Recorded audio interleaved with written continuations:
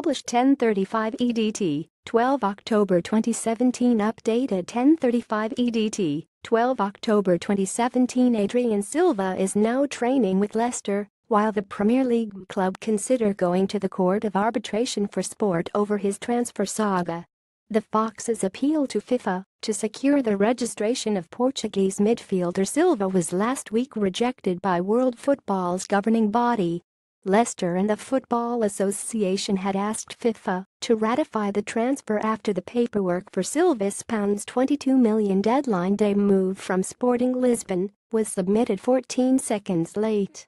Adrien Silva Centre has seen his appeal to play for Leicester City rejected by FIFA. The midfielder is in limbo after Leicester missed the transfer deadline by just 14 seconds. That request was denied, and, as things stand, the 28-year-old will now not be registered to play for Craig Shakespeare's team until January.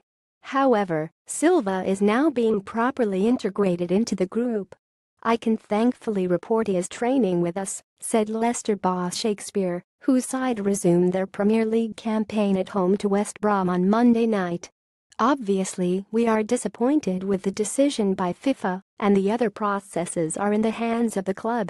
But he is training with us, and I speak to him on regular basis during training to make sure he's fully focused on what his requirements are.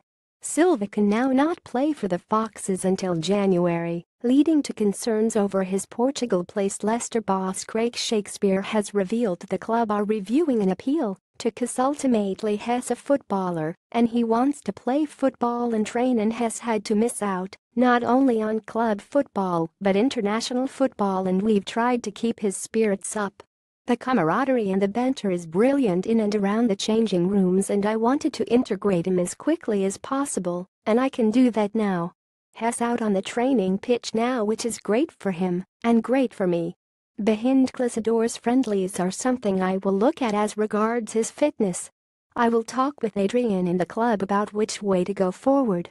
It would be remiss of me not to plan for the worst case scenario, which is that we don't have him until January. In terms of his fitness we will have a plan in place, and we will probably have a plan A, B, C, D, E, and F so it's something that we will continue to monitor. Asked about the possibility of taking the case to the Court of Arbitration for Sport, Shakespeare said I think it's under review. I will leave it in the hands of the club because it's still a can of worms for someone like me who is just football-based, not knowing all the ins and outs.